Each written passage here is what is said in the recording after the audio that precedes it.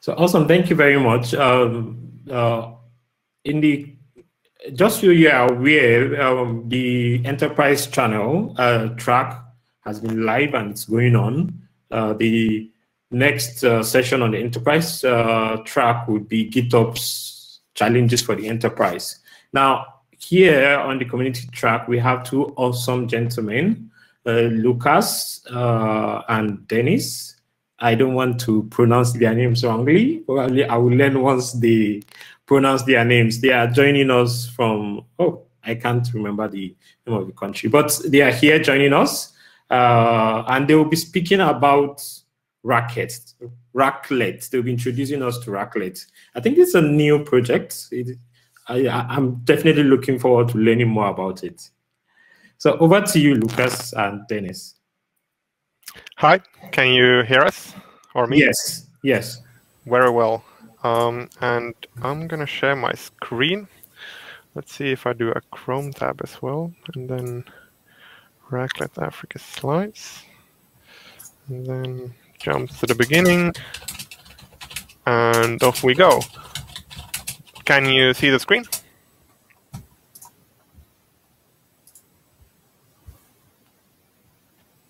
And can you hear me as well? I can hear yeah. you. Yes, we can. We can see the screen. Perfect. Great. Then let's start. Hi, uh, welcome to this presentation. And yes, as, as was mentioned here, we're today going to announce our new open source project called Racklet. And we're joining you from Finland today, and we're very excited to be at this conference. Cool. So um, the cloud. What do you think about when you hear the cloud? Is it someone else's server? Well, if it is, then it's also someone else's problem, right? To manage all of these servers, like you, you just use it. That, that's that's great. But what is the problem anyway? Uh, with managing servers anyway, one can just go to the dashboard and deploy workloads instantly. And this kind of um, a mismatch here in like uh, we can do some of the things uh, through through dashboards without knowing what is you know under underneath what is happening in the real world.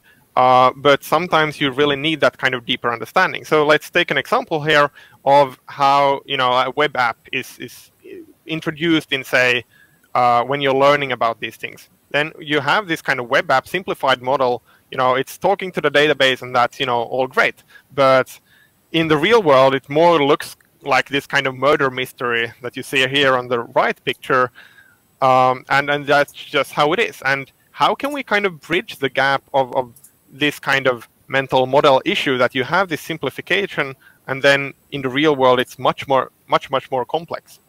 Um, so when you learn about something for the first time, you often see it like kind of a black box. So like you don't know what is in there or how it works underneath, but in the reality, it's a system, for example, cloud composed of many, many components. This we'll, we'll get into later. Um, and as was found in this uh, master's thesis from Kasper Nissen and Martin Jensen at Aarhus University in Denmark, they, they studied this kind of thing and, and wondered like if we have something tangible, something, you know, like learning cloud system and something you can touch, you can you know uh, roll around with it and you know physically change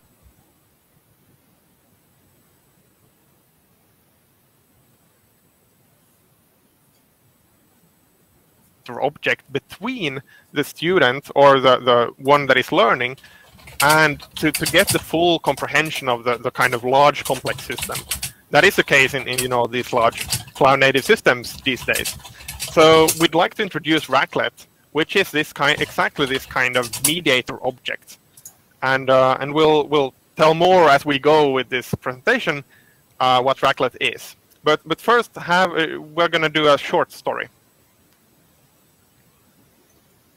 So understanding the cloud in a holistic way is really hard. This here is a visualization of what you as the user or as the developer see when interacting with Kubernetes or deploying your applications compared to all of the behind the scene complexity that is required to run a cloud. In today's ever more complex technology ecosystem, it is crucial to also see the bigger picture, for example, in order to understand error situations and to make better decisions when uh, developing applications. So let's say that in, I'm in the market for a cloud. What options do I have? Well, the most common option here is to rent some cloud capacity from a provider, uh, from a well-known infrastructure provider, for example, Google Cloud or AWS. This, of course, has running costs that scale with capacity. The other alternative that I have is to um, go directly to the enterprise server hardware vendors and just purchase a bunch of servers and network switches and build my own on-premises data center. This, of course, has very large um, upfront costs. Yep, exactly. So, like for us, we, we are both students, and you know that's not realistic to just you know go at, at some some large uh, corporation say we want to buy all of these servers. That that's not within our budget in any way. So what can we do? Well, we can build our own cloud from commodity components for example, like Raspberry Pi and, and some other things uh, of the logos listed here, and that is much cheaper and much more accessible. So the next question is, how do you build a cloud? This is uh, obviously a large undertaking, and uh, you need to bind together many, many smaller hardware and software components, and there's simply no end-to-end -end manual for doing something like this. So here is the infamous cloud native landscape many where many of these components that if you build your own cloud, if you go that route, you're expected to integrate these things. And um, you know, it's just overwhelming. like where do you start? You really need some good kind of glue to, to bind all of these things together. Okay, so what is the industry standard glue?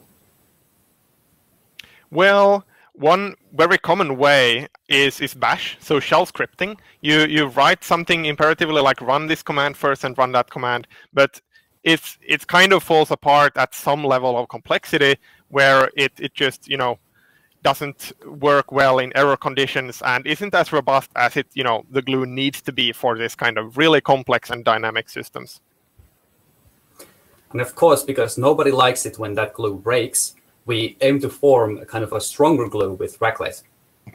So in other words, uh, we aim to bind the technologies that we just showed you on the uh, CNCF landscape together in a very nice way with the minimal amount of glue.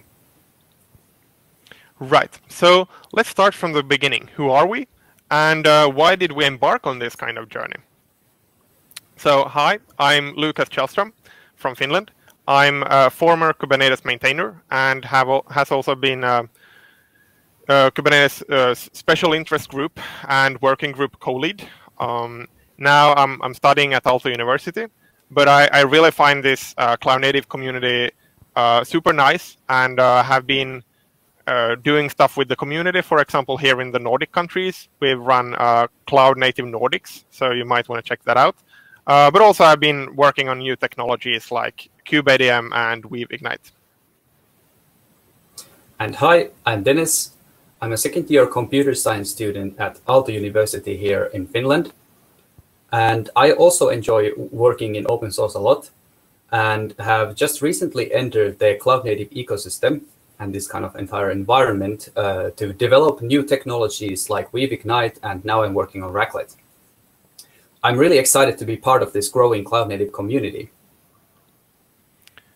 Very cool. So let's start by taking a look at how Lucas built a do-it-yourself cloud in 2015. Yeah, so when I heard about Kubernetes for the first time, um, I, I was really, you know, like amazed that, that Google open sourced something that, that they had been working on, you know, like for a long time. And, and I was like, okay, that's great. I, I want to contribute. So I, I, started to contribute, and the first thing I, I did was to contribute uh, porting Kubernetes to ARM so that it worked on my Raspberry Pis. Because I, the only Linux computers I had around were Raspberry Pis, because you know they were cheap and accessible, and and that's why I did it. And um, eventually, I built this kind of this kind of small cloud um, that you see on the picture, and uh, it was fairly straightforward. Um, I had a, USB hub that was feeding power to all of the Raspberry Pis. Each Raspberry Pi had an SD card, and uh, and then they were connected with a, a, normal Ethernet switch. So while your design was functional, Lucas, is there a way uh, that we can make it more reproducible, more automated, and also more secure? Let's first have a look at the hardware. So you used a structure constructed out of plexiglass and screws. And this is purpose-built for the single board computers that you had on hand, as we see from the picture. And there is really no easy way to simply replicate what you have constructed here. No, I know. So now that we're re redoing this kind of thing again with Racklet, with this open source project, we want this to be modular it should be re reproducible, and this we um, achieve by 3D printed casing. Uh, also, we want hot swap support, so you can just drag the, the pies out of the thing when, when you need and, and replace them. Then problem number two with my old setup was that the power connectors, as you can see on the picture, were entirely non-standard. So, so like I had to have all kinds of different different power bricks and, and whatnot. And uh, when sometimes the USB hub, which which has all of the, the yellow and, and magenta uh, USB connectors there, that was some sometimes overloaded and, and you know like couldn't handle all of the pies at the same time. So we need to find something more robust that is not a single point of failure. And uh, to do that, more robust solution, we can utilize the Raspberry Pi hat standard, so hardware on top attached on top. So it's essentially a PCB that goes on top of each of the single board computers. And using this, we can power the Raspberry Pis and the other single board computers in a standardized way using the GPIO header. And this kind of standardized hat form factor also allows uh, for monitoring voltage and current of each single board computers separately, and we eliminate the single point of failure. Next, we have the SD cards that are in the Raspberry Pis and the single board computers. As many of you probably know and also have experienced, uh, constantly flashing them is very tiresome, and their durability is limited. And additionally, we cannot guarantee the immutability of the operating system due to there being no kind of read-only switch. And that forces us to inherently do mutable infrastructure. We also have the additional issue that we cannot uh, debug a non-booting single-board computer in an easy way. Cool. So, so this that's kind of a lot of problems. uh, let's let's take them in order. So first, the SD card, we swap out an SSD, um, which uh, which give us better capacity, uh, resiliency, and, and also speeds. Um, then we, we switch to using immutable infrastructure, which means that we network boot, when starting the Pi, we network boot a, a pre-made image from some kind of registry, and then you know do all of the, the security stuff like cryptographic verification. And, and then, but to do this kind of net secure network booting, we need some kind of hardware root of trust. So we need some kind of key uh, to know is this you know secure or not.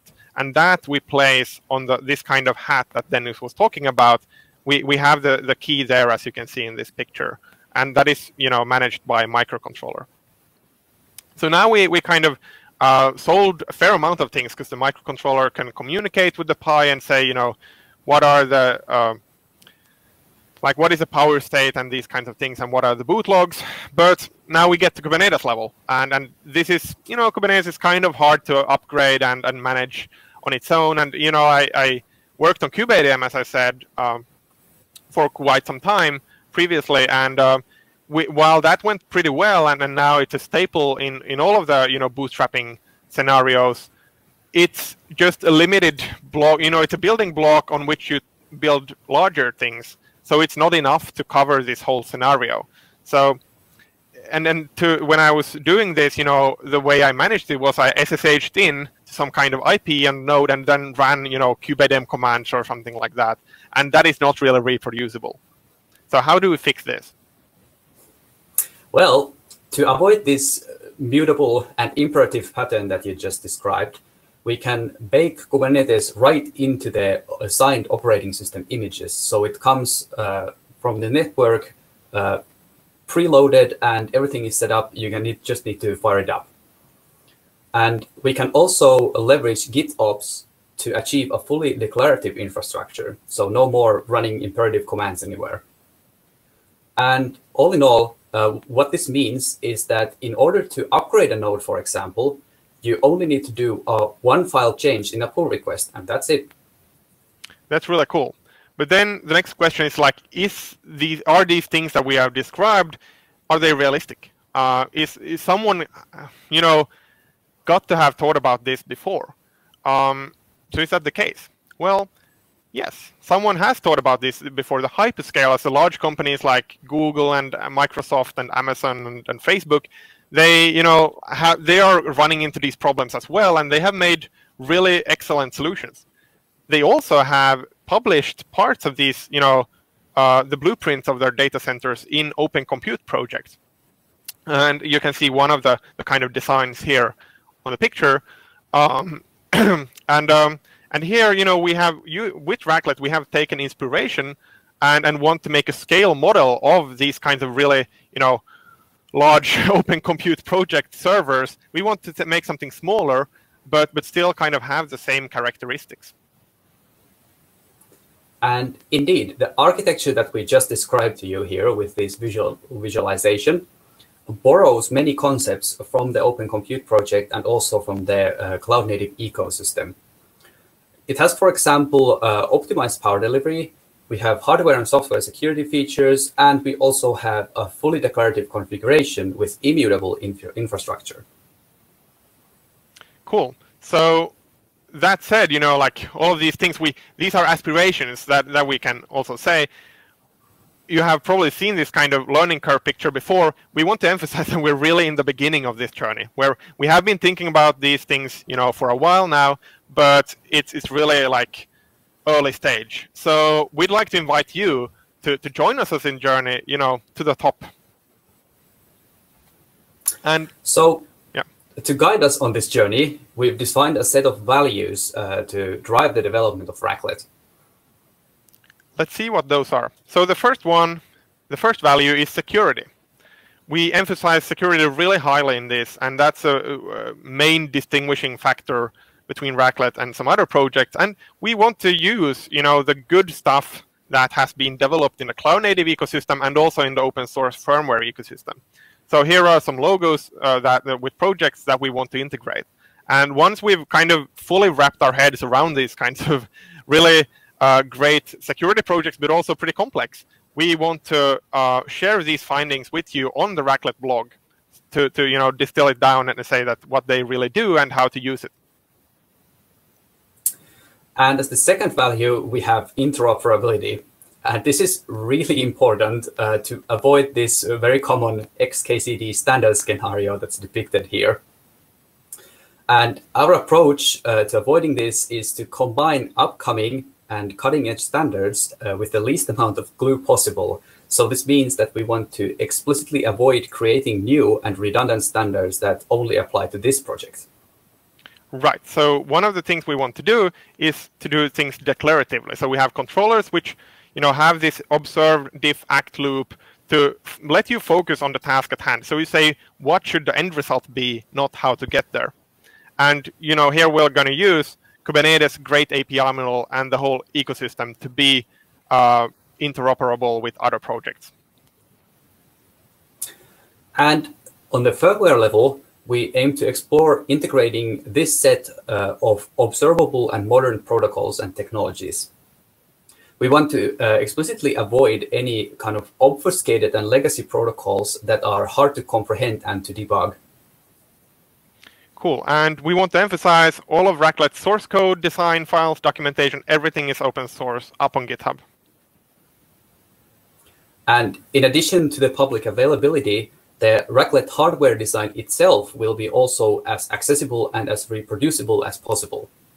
So for example, we're going to leverage um, 3D printing. Uh, we're going to leverage 3D printing and an open source CAD workflow uh, for all of the structural components of this project. Cool. And the schematics will be also made open source or open hardware in KiCad, for example. We have a markdown book online, docs.racklet.io, which is work in progress, uh, where you can find the documentation for the software components. And everything, all the rest of the stuff will be just off-the-shelf components, which means you can buy it in your local web store. And uh, the fact that it's off the shelf also means that we need to focus on modularity and compatibility, which is our fourth value. So Racklet aims to be as modular as possible up to the point of supporting different uh, single board computers uh, that comply to the uh, Raspberry Pi form factor. So we see this future where there's an ecosystem of Racklet compatible hardware and software.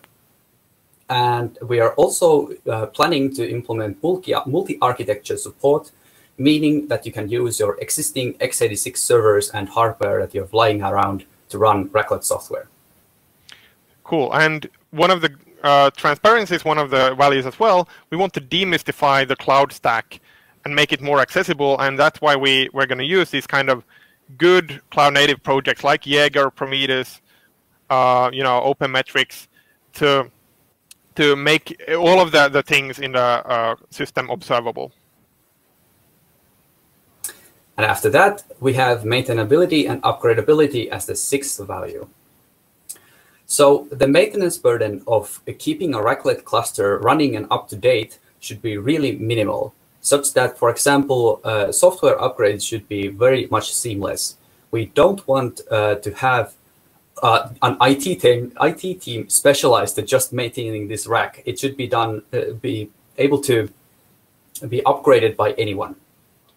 And on the hardware side, we also uh, support or aim to support hot swapping and then upgrades of individual components so that you can um, so that we can minimize e-waste and you don't need to throw away the entire rack if you want to upgrade something. Cool. And the last one is affordability. We want to use cheap commodity components or inexpensive ones such that it's compared to, you know, like these large scale servers, if you would if we would buy a stack of them, Racklet is much more cost effective. And also, thanks to the modularity that Dennis was talking about, you can also make Racklet fit your or your budget or local uh, availability. And let's take a look at the use cases. So first of all, we envision Racklet to become a staple in the home labs of um, cloud native and tinkering enthusiasts, mainly due to the affordability and hackability of the system. And this kind of open source nature of Racklet also enables this community to contribute their ideas and innovations back upstream. Cool. And then we have education, which is super important in this field. We want that, you know, for example, universities and other educational institutes should be able to, to get a rack or a racklet easily and use that for education of these cloud computing systems.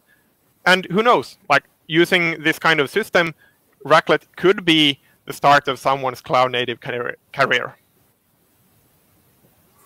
As a sort of scale model of a real cloud, uh, Racklet is also suitable for many research and development applications in uh, cloud native infrastructure, as well as the cloud native patterns and paradigms.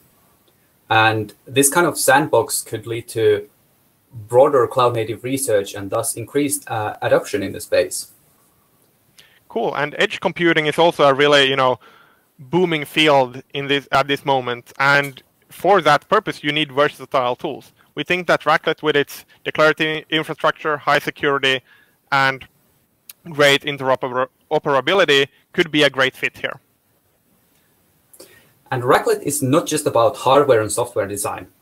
Our fundamental goal is to build an inclusive and diverse community around the project and an ecosystem with the ecosystem, um, there's already a lot of uh, great people advancing the state of art, uh, state of the art of these kind of systems. So here we are showcasing the work by Turing Machines Incorporated, as well as Ivan Kuleshov. Both of these uh, initiatives are super cool, and we look forward to collaborating with their authors. Cool.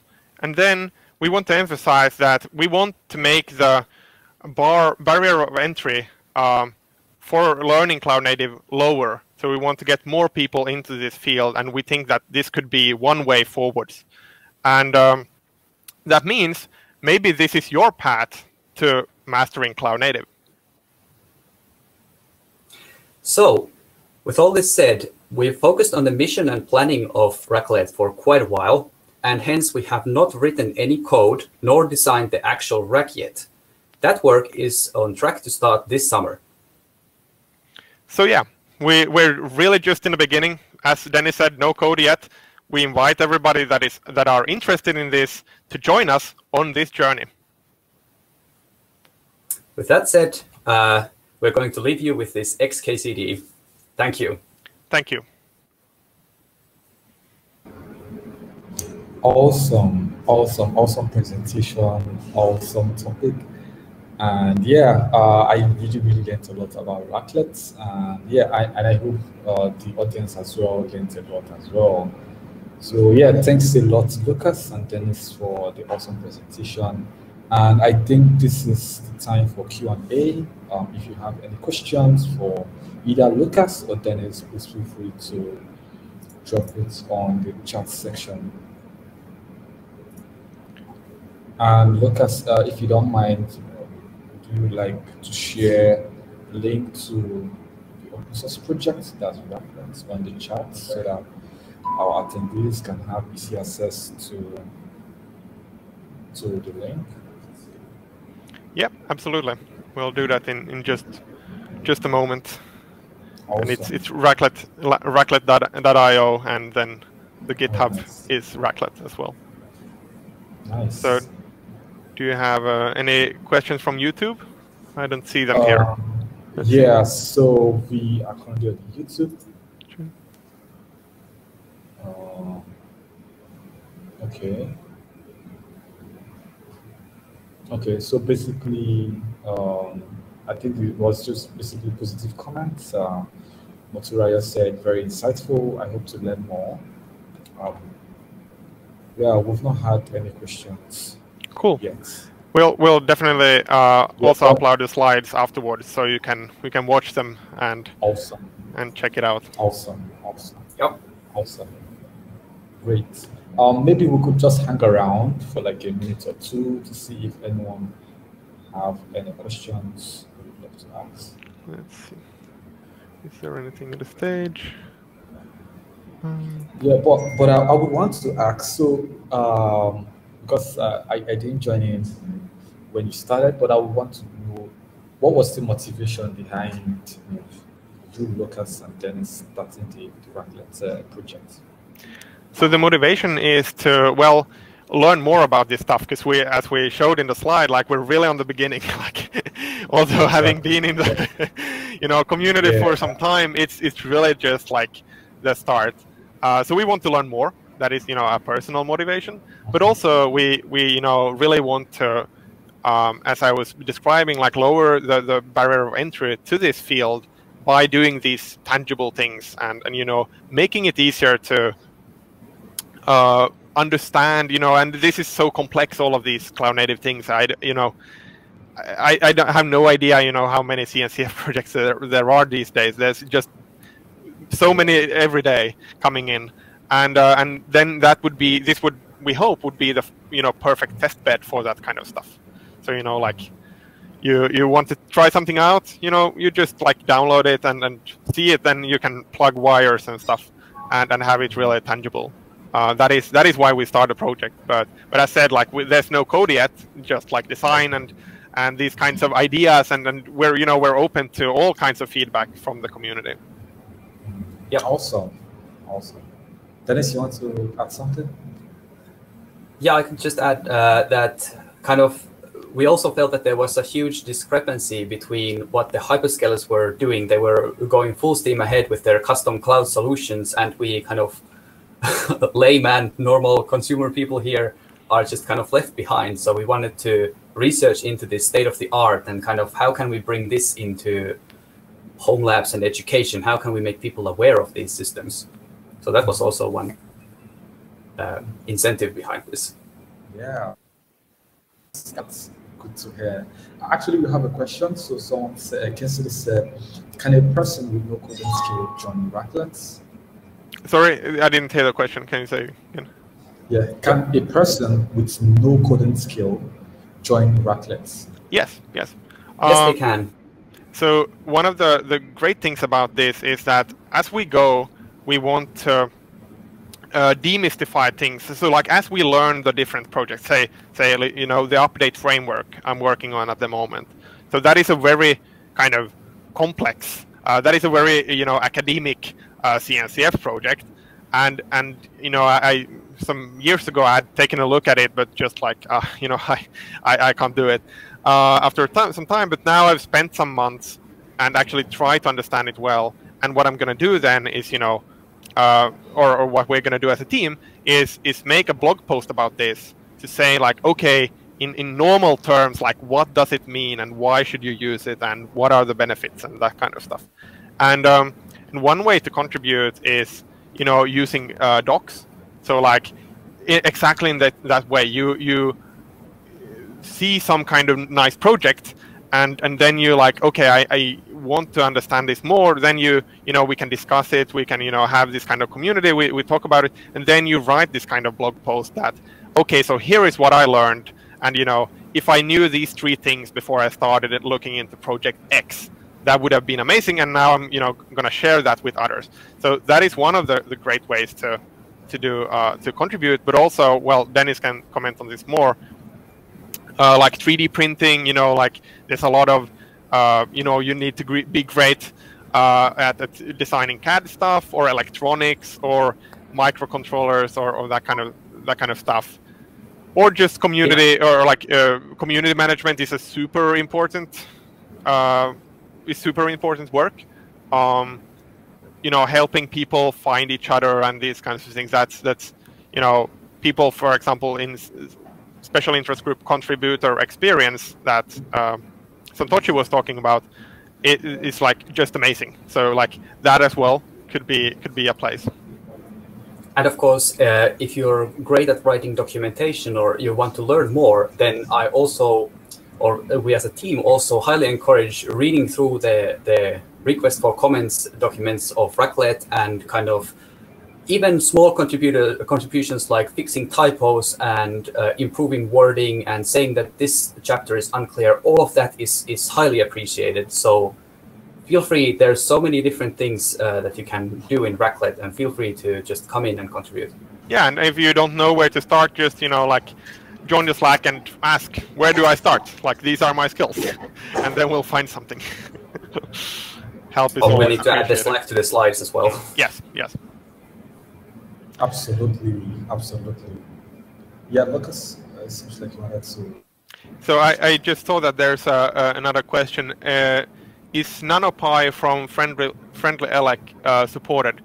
Uh, so well, I, we we don't have any any code yet, so we don't support, uh, or there's no nothing that actually um, yeah implement. Right now we can't support. Uh, right now we can't say that we support it, but uh, let's just say that it is in the in the list of uh, single board computers that we plan to uh, support as a first party. So yes. yes. So so we want, but but if you have a NanoPi, then you know a great way to contribute is also you know.